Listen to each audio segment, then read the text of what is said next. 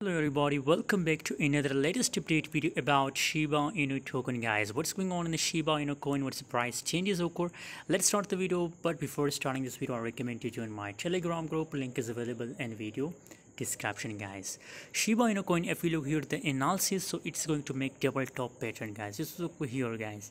Here is a double top pattern so obviously if it's going to make a double top pattern so also scenario for Shiba Inu coin that now the price will goes down you know uh, according to my personal prediction my prediction is that that as it breaks this neckline so the price goes to this support level and maybe from this support level again the price uh, start a reversal guys again the price start pumping. Guys so currently you know i recommend if it's also going a free signal for all of you that now you can uh, sell Shiba Inu coin guys if you want to open short position.